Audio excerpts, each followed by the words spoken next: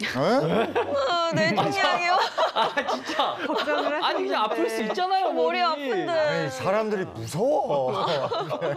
아니 당연히 일반적으로 큰 질병이 아니어도 아플 수 있는데 저희는 이제 위험한 걸 꼭 말씀을 드려야지 이걸 사람들이 이제 듣고 걱정도 네. 하고 미리미리 병원도 이제 방문을 하시고 하니까요. 제가 초반에도 말씀을 드렸지만 뇌종양의 증상 중에 하나가 두통이에요. 사실 뇌종양은 종양이 생기는 위치에 따라서 증상이 굉장히 다양하긴 하거든요.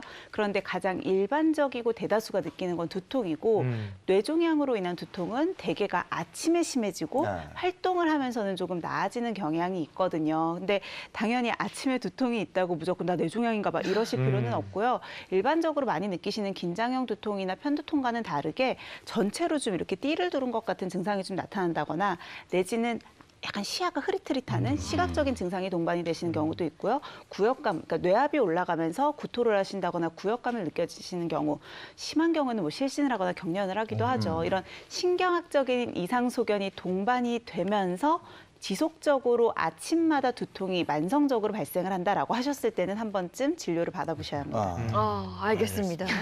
너무 무서운데. 두 뇌종- 번째 한번 보겠습니다.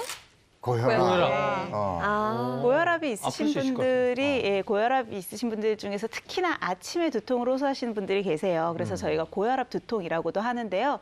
고혈압이 있다고 무조건 두통이 있는 건 아니고요. 조절이 잘 되지 않았을 경우에 보통 아침에 혈압이 올라가거든요. 근데 특히나 수축기 혈압이 200mm 머큐리 이상 그리고 이완기 혈압도 110mm 머큐리 이상으로 혈압이 굉장히 높다고 했을 때는 전반적으로 박동이 느껴지면서 띠두르고 띠가 이렇게 나를 압박하는 것 같은 모양의 두통이 생기는 경우가 많아요.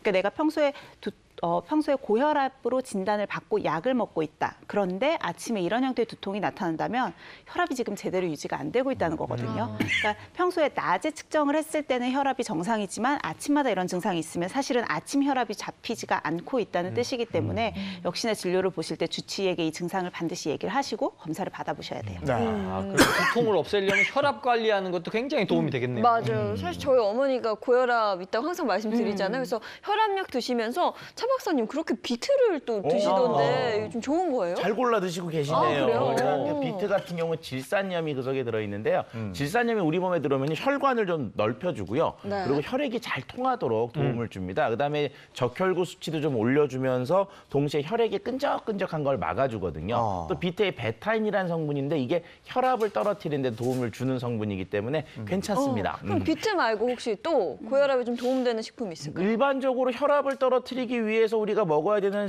영양소를 얘기하면 식이섬유하고 칼륨인데 여름철에 좀 음식들이 상하기 쉬우니까 어, 건포도를 좀 한번 추천해 보려고 아, 해요. 아. 건포도 이렇게 한 움큼 정도 하면 한 60알 아. 정도 되는데 맛있지. 거기에는 한 1g의 식이섬유 이- 이상과 그다음에 칼륨이 또 212mg 정도 들어 있으니까 이런 걸 조금 조금 조금씩 드시는 것들이 이제 혈압을 좀 낮추고 정상으로 돌리는데 도움을 줄 수 있습니다. 네. 입이 심심할 때 하나씩 집어 먹으면 되겠네요. 아니 그리고 요즘 건포도 먹은 지 오래된 것 같아요. 음. 그죠? 생각해 보면